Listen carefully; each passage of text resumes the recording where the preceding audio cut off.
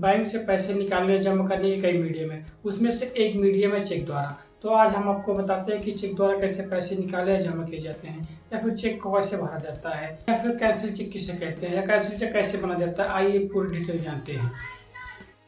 जिस किसी को आप चेक दे रहे हो तो उसको भी पता होना चाहिए और आपको भी पता होना चाहिए कि इस चेक की वैलिडिटी सिर्फ़ मात्र और तीन महीने रहती है।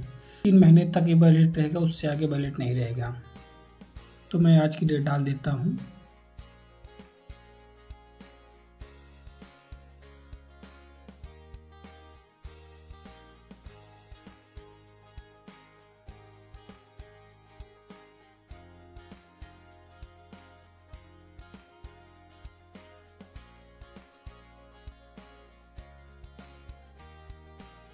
जिसके नाम पे आप चेक दे रहे हैं, उसका यहाँ नाम लिखना होगा। अगर आप इसे स्वयं यूज़ करें तो आप यहाँ स्वयं लिख दीजिए।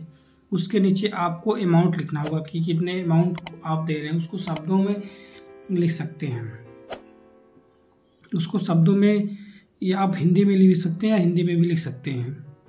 उसके बाद आपको अंकों में लिखना होगा कि आप उसको कितने रुपए दे रहे हैं।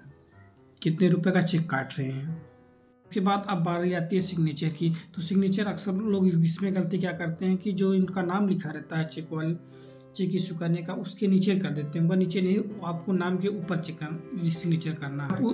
हाँ अगर आप जिसको दे रहे हैं, उसको अकाउंट में भजाना है तो आप उसको डबल लाइन कर दीजिए। डबल लाइन करने से ये होगा कि वो आपको कैश नहीं करा पाएगा, फिर वो अकाउंट में जमा होगा उसके। अगर कैश लेना चाहता है तो फिर आप वहाँ पर लाइन नहीं खींचे तो वो आप, वो वो अपना एक आईडी कार्ड की फ़ोटो कापी ले जा कर के अपना क्या कहते हैं क्लियर कर सकता है, उसको हाथों हाथ कैश मिल जाएगा। उसके बाद किसी को भी चेक देने से पहले आप उसका रिकॉर्ड ज़रूर रखें, क्योंकि भविष्य में आप उस चेक को कैंसिल भी करा सकते हैं तो आपके पास चेक नंबर रहना ज़रूरी है।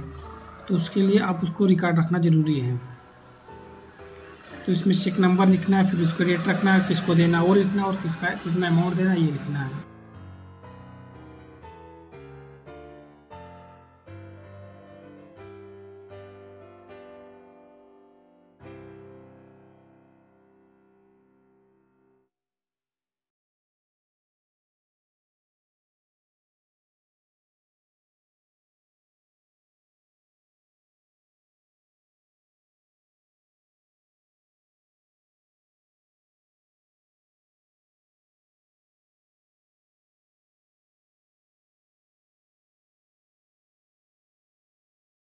होता है और उसके बाद ये M I C R code होता है और उसके बाद ये आर बी आई का अकाउंट नंबर होता है। उसके बाद सबसे लास्ट में जो लिखा रहता है राइट साइड वो आपकी ट्रांजेक्शन आईडी होती है।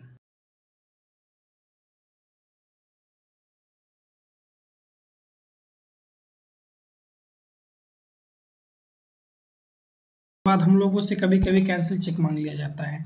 तो कैंसिल चेक अक्सर क्या कहते हैं? फाइनेंस वाले। कैंसिल चेक का मतलब होता है कि एक चेक जिसपे दो बेड़ी लाइन खींच दीजिए या फिर एक बेड़ी लाइन खींच दीजिए और उस पर कैंसिल लिख दीजिए और उस पर आप अपना सिग्नेचर कर दीजिए।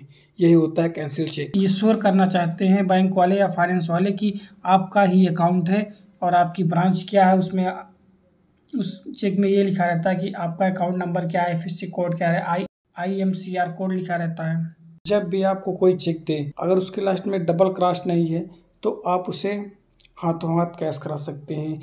यानी कि आपको चेक ले जाना है, एक विड्रॉल फॉर्म भरना है और आपको अपनी एक आईडी की फ़ोटो कापी ले जानी है, उसके बाद वो आपको हाथों हाथ कैश दे देंगे। अगर उस उस चेक पे कोने पे डबल क्रॉस है तो आप उसको अकाउंट में का उसको अकाउंट में क्लियर करा सकते हैं। उसके लिए आपको एक जमा पर्ची भरना पड़ेगा और उसमें आप चेक नंबर डाल सकते हैं और उसके बाद चेक के साथ जमा कर देंगे तो आपको क्लियर हो जाएगा।